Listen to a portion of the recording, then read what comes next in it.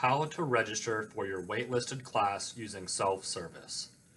Once you have received permission from register at hagerstowncc.edu and your student email, you can register from the waitlist by going to self-service.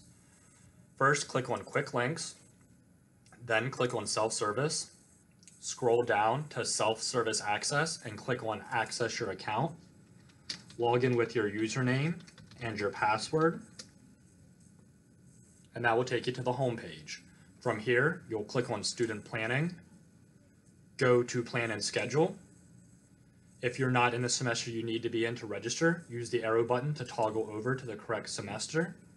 The class you are waitlisted should be on the left-hand side, and you should see a Register button.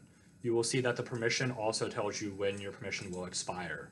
By clicking the Register button, your credits will go from waitlisted to enrolled. Congratulations, you have successfully registered for your waitlisted class.